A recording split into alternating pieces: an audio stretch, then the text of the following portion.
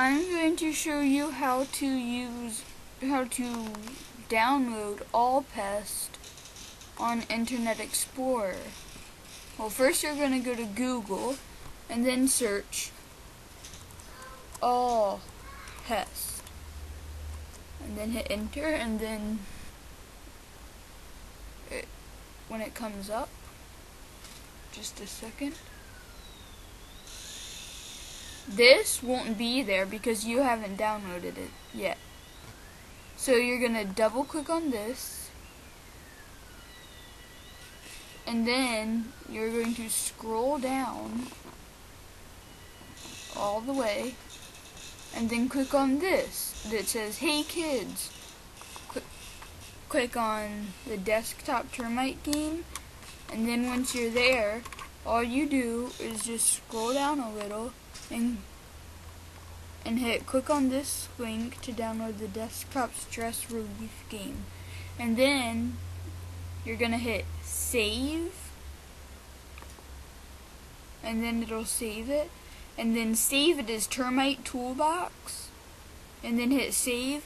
Since I already have it I'm not going to save it because then I would have two and it would just take up um, storage space. So once you have it, you won't be able to find it unless you go right here. And if you have Windows XP or an earlier version than that, email me because I don't know what you guys have. Um, well, if you have Windows XP, um, it'll work the same with that. But if you have earlier than Windows XP, email me. So then you're going to search termite tool box.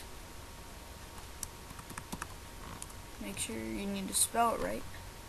And then you're going to double click on that and then click run.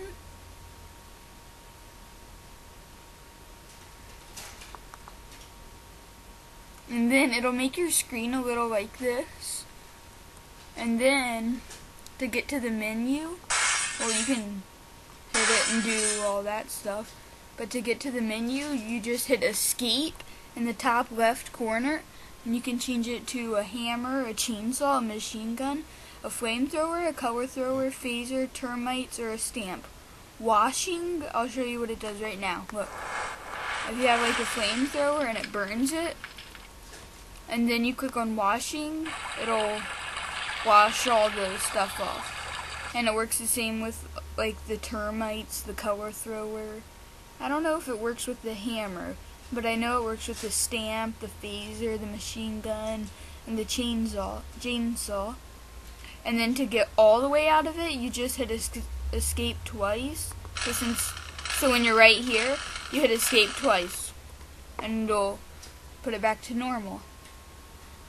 And to get it on your desktop or down here.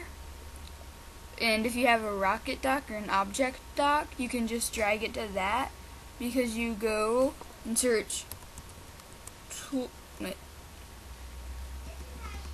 termite.